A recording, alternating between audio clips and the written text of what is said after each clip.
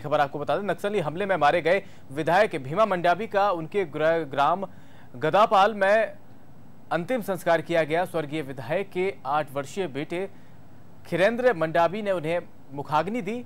इस दौरान उनके अंतिम दर्शन के लिए जन सैलाब उमड़ पड़ा।